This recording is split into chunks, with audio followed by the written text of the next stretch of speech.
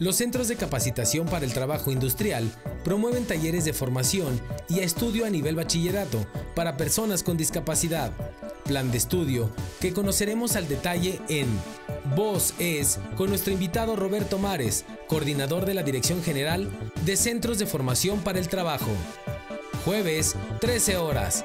Canal 49, el canal de Morelos.